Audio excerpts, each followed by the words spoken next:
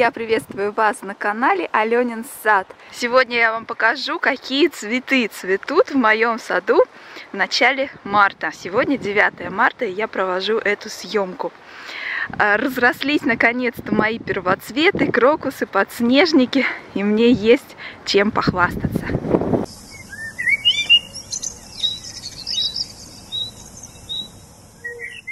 Ровно год назад в продажу вышли мои первые книги «Аленин сад» и «Огород в контейнерах». С тех пор на мой канал подписалось уже более 60 тысяч человек. И не все знают о том, где эти книги можно приобрести. И вы можете получить дополнительную скидку при покупке этих книг в виде кэшбэка – если будете покупать их с помощью сервиса Smarty Sale, сервиса умных покупок. Просто регистрируйтесь на сайте и через него выбирайте свой любимый книжный магазин, например, Бук24, Литрес, Лабиринт, Читай город. На Smarty Sale высокие ставки по кэшбэку и мгновенная выплата удобным для вас способом. Ссылку на этот сервис умных покупок я оставлю в описании под видео. Обязательно туда заглядывайте. Кроме книжных магазинов, там есть еще множество других магазинов. Тот же Алиэкспресс, например. Обязательно пользуйтесь своими возможностями, возвращайте себе кэшбэки. Ну, а мы продолжаем смотреть, какой был мой сад в начале марта.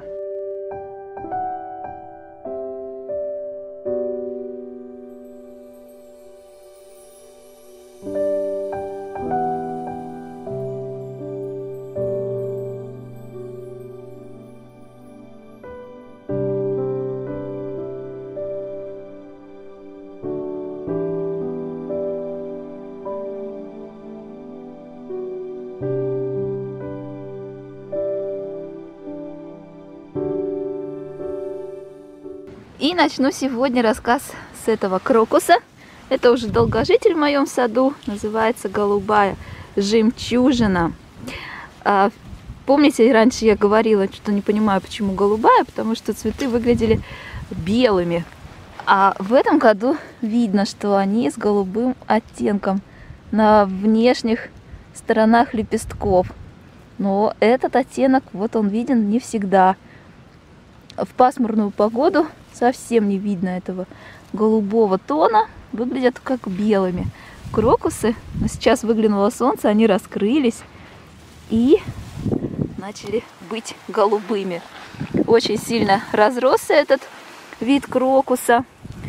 И в этом году уже буду здесь перекапывать, обновлять эту клумбу, потому что и пырей сюда забрался, и фолярис вырвался на свободу и быстро начал здесь атаковать пространство. И астра тоже осенняя разрослась. В общем, буду все перекапывать. Но перед этим, конечно же, нужно будет убрать этот великолепный, маленький, но такой красивенький крокус. Но у меня теперь есть калиновка, и все лишние луковицы будут расти там. Там для крокуса будет раздолье, еще быстрее все будет размножаться и разрастаться. И на этой новой моей большой-большой клумбе э, выглядит все не очень хорошо, потому что только прошлым летом начала тут ее засаживать растениями. Они все еще маленькие.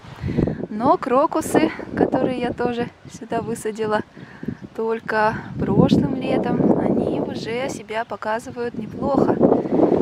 Вот такие красивые подснежники еще больше разрослись, еще больше распушились со времени прошлого показа.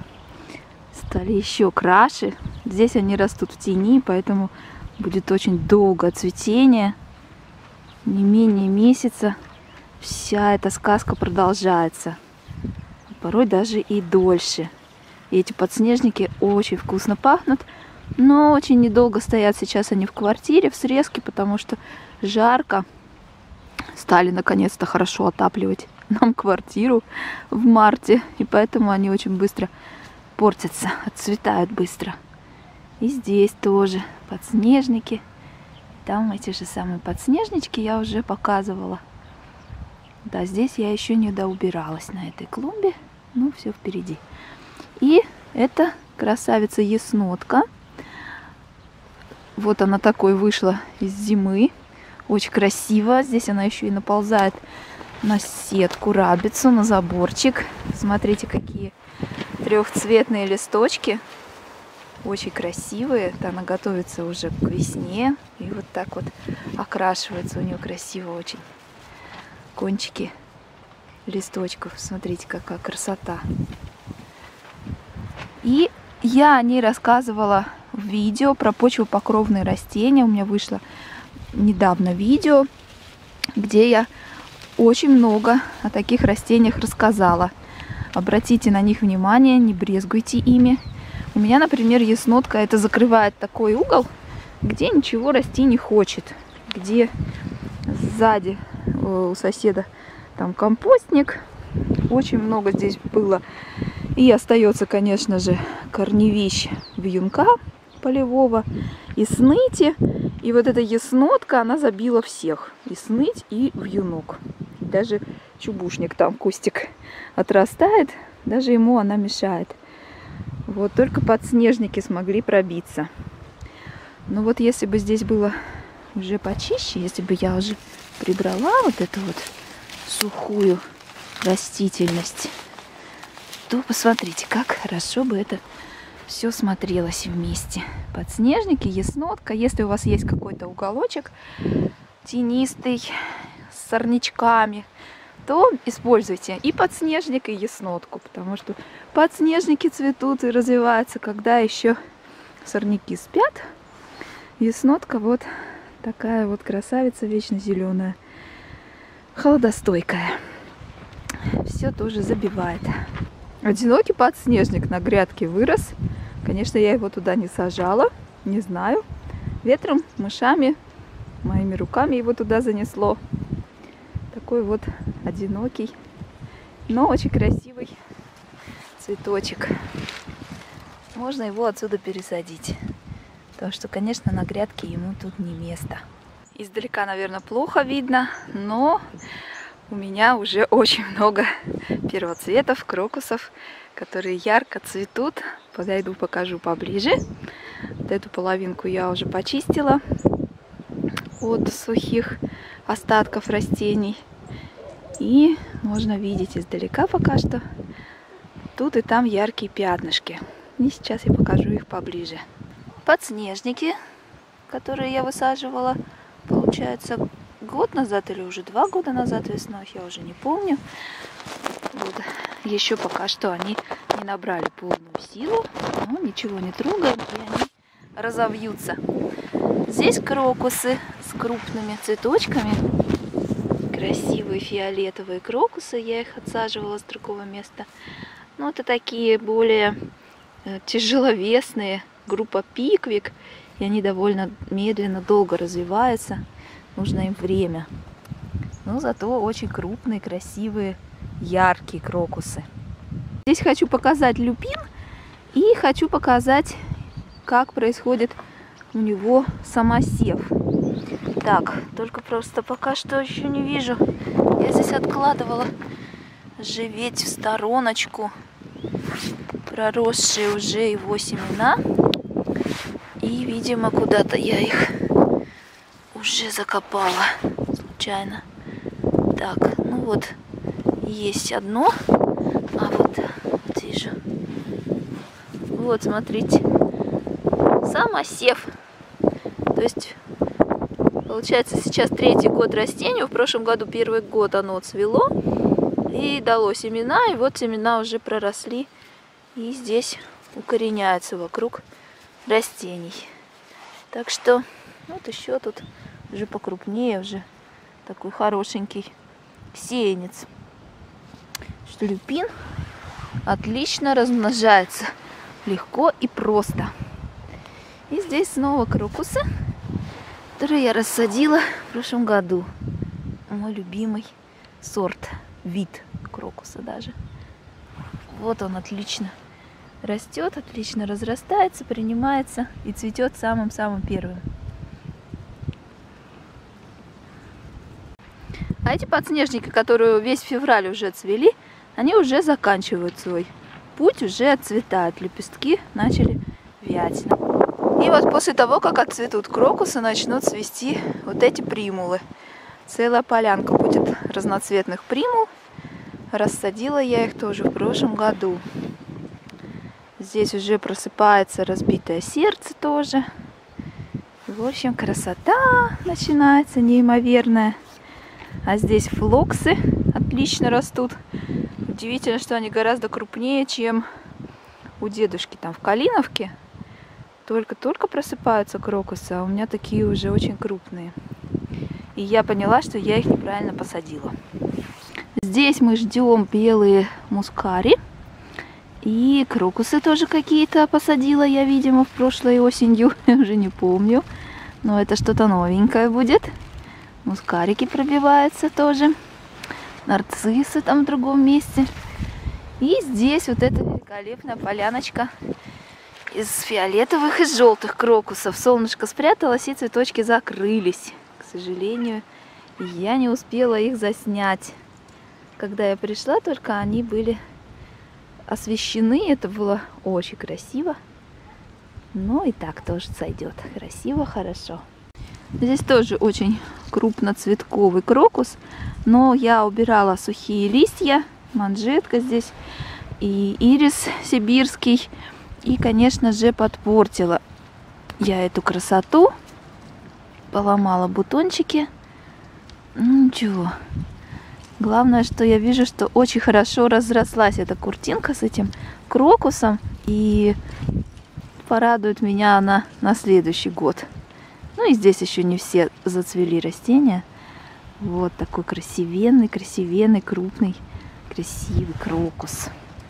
А здесь рядом я вижу пушкиния просыпается, тоже начинает зацветать. А, не очень-то она, конечно, разрослась. Но это ничего, потому что хорошо, что она вообще жива. Что почему-то пушкиня у меня гибнет в саду. Тут вот какие-то семена прорастают. Возможно, даже это именно пушкиня. Это видно, что это что-то луковое. Или это крокусы сюда прилетели, или это пушкиня здесь размножается. Вот здесь еще ее семяночки. А может и мускарики, вот они рядом мускарики такого типа. А вот тут еще немножко другого, у которого листья осенью отрастают. И вот там вот вдали видны тоже такого типа мускарики, которые осенью отрастают. Ну и вообще здесь вот тюльпаны, которые я не выкапывала. Получается второй год. Но они как-то не очень хорошо выглядят. По-хорошему надо бы выкопать. Вот там я вижу еще иридодиктиум прорастает. Вот. Нет, это лук. Это не иридодиктиум, это лук многолетний здесь прорастает. В общем, как я и хотела, сделала кишмиш на этой клумбе из луковичных. Такой, что теперь сама не могу разобраться. Ну, главное, что красиво. Главное, что красота еще немножечко и станет просто фантастично красиво. Тюльпаны здесь отлично себя чувствуют, растут, никто на них не покушается. Здесь лук многолетний тоже разросся. По одной луковичке я сажала. А вот как все разрослось, как много уже я вижу клювиков. И уже другой вид крокуса крокус хризантус это. Мелкий, желтенький, и внешние лепестки у него полосатеньким покрашены. Коричневые полосочки. Он такой маленький, что не хочет камера фокусироваться на нем. И здесь снова крокусы. Как я и мечтала. Мне кажется, что я положила на них камень. Сейчас проверять будем. Такое ощущение, что они там под камнем должны были расти точно. Ой. Ну, осень уже не знаешь, где что растет. Совершенно. Они быстро отмирают, и я не запоминаю места потом точно. И вот такая получается ситуация. Ну, не, красавчики ли, ну не великолепные ли цветочки. И еще этот крокус очень быстро размножается. Единственное, что вот я не успеваю, к сожалению, вовремя все это рассаживать. Иначе бы уже было гораздо-гораздо больше тут красоты. И с этой стороны тоже остатки крокуса. Помните, здесь росла такая большая куртинка, которую вот как раз я и рассадила уже по всему участку. Оставила тут немножко. Плюс самосев активно подрастает. Так что это место по-прежнему за крокусом остается. Зашли массово тюльпаны, и между тюльпанами весенник цветет. Не так он быстро размножается, как мне хотелось бы, но все-таки хотя бы не погибает. Вот такая вот красота. Вот так, он уже отцветает, я уже его показывала, по-моему, в феврале. Ну, сколько ему можно цвести, этому малютке, он уже заканчивает свой путь. Но зато я вижу, что здесь есть его самосев. Вот листочек, вот там листочек. То есть те растения, которые еще не готовы цвести, они формируют только один такой листочек. Вот. Вот совсем малюточка, видимо, прошлогодний. Насеялся здесь. И тюльпанчиков. Много-много тюльпанчиков. Начинают просыпаться и гиацинты. Сейчас активно они продаются в магазинах почти в той же самой стадии, в которой они у меня растут в саду. И здесь вот тоже эти гиацинтики и тюльпаны, которые я не выкапывала. Довольно сильно просыпаются пионы, тоже в Калиновке, не так сильно они отросли. Меня это очень удивляет, потому что я всегда думала, что в Калиновке гораздо теплее, чем у меня. Здесь тоже гиацинты просыпаются, но по ним хорошо видно, что я их не выкапывала в прошлом году, и они измельчали, заметно измельчали. Но зато их стало больше, выросли детки. Из одной луковицы получается по 4, по 5 штучек. После цветения нужно будет их выкопать, подержать лето тепле дома и высадить потом в большем количестве. А следующий год будет уже гораздо пышнее и красивее их цветение. И кроме крокусов и подснежников, еще, конечно же, сейчас очень красиво выглядит ирис сетчатый, иридодиктиум. Смотрите, какие цвета. Фиолетовый у меня сорт. Какой красивый, яркий. Если он разрастается большими куртинками, то некоторых дачников я наблюдала такие, то это смотрится очень-очень-очень красиво. Просто замечательно, ярко. Тоже долго цветет, потому что прохлада сейчас стоит. И еще он бывает красивого голубого цвета, синего цвета. В общем, не скучное растение с потрясающим цветочком. Удивительная форма. Красота, да и только. Смотрите, желтые полосочки на фолах. Супер. А в ванне крокусы, на удивление, еще у меня не цветут. Хотя бутончики есть. Ну, надеюсь, что у них все получится. Хотя необычный способ выращивания, и, возможно, что-то им не понравилось. Здесь меня примула. Будет красиво очень цвести. И еще голландские ирисы или иридодиктиум, я уж совершенно не помню. На этом я видео свое заканчиваю. Я надеюсь, что вы получили удовольствие. Не забудьте поставить пальчик вверх и подписаться на канал Аленин Сад, потому что впереди нас ждет очень-очень много интересного. И, конечно же, очень ждем цветения тюльпанов. Желаю вам всего самого наилучшего и до новых встреч на канале. Вот какой костер большой мы с Дианой сегодня сжигаем. Провожаем зиму 9 марта и встречаем весну. Да? Да. Сейчас все это мгновенно сгорит. Там всякая сухая трава. Только в центре там чурбачок лежит. Уху, какой! Ну, рядом у нас строений нет, по ветру тоже никаких нет строений, которые мы можем сжечь. Еще и эта ива задерживает все искры, не дает им дальше лететь. Ух, А, как! я глаза защищаю. Глаза защищаешь, правильно. Все надо защищать.